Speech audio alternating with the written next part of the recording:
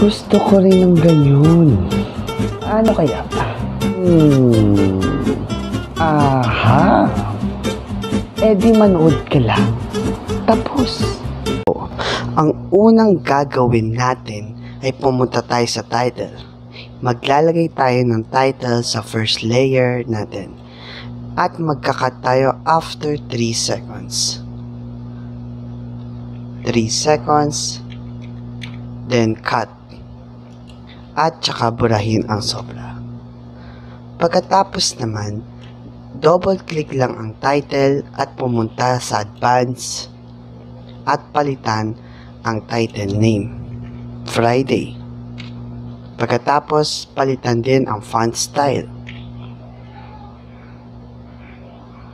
Sa front side prompting, palitan ang font size, letter spacing,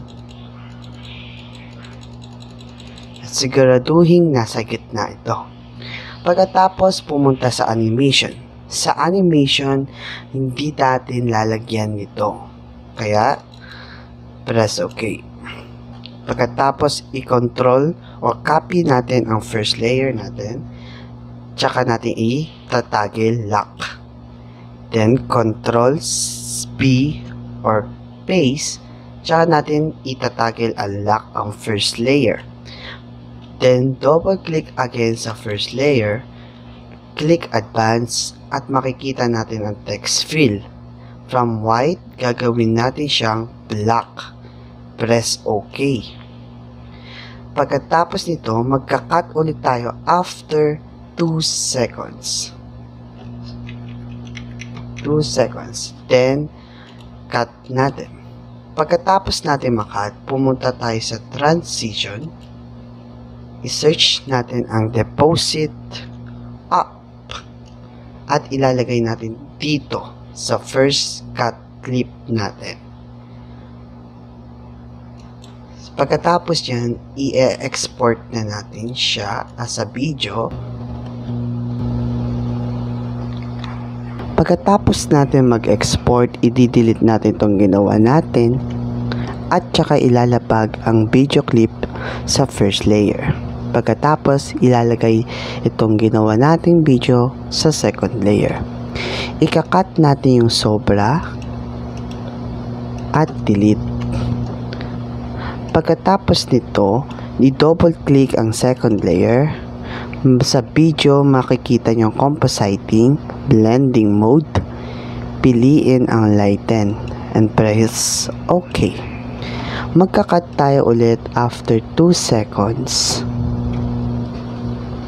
Cut at between 113 at 120.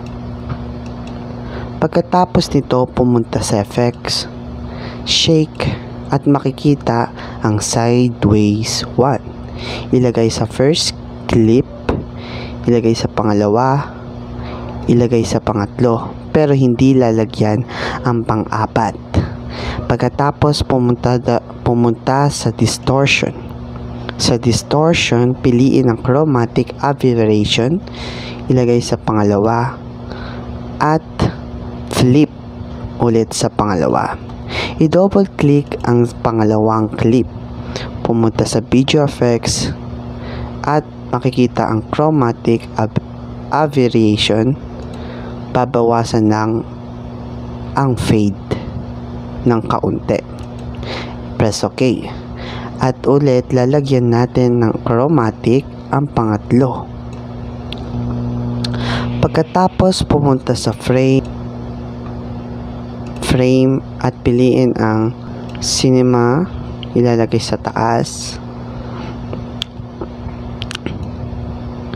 syempre double click natin ito baguhin natin ng color. Punta lang sa advance. At sa preset makikita natin ang cool. Baguhin lang natin. So baguhin. Same as here. Advance. Cool. Okay. Advance. And then cool At meron na tayong glitch effect or text glitch effect natin. So, ito na yan. That's all for today at kung bago ka lang sa channel ko, huwag mong kalimutang i-like, subscribe at i-tap ang ring bell para sa laging updated sa video ko. See ya!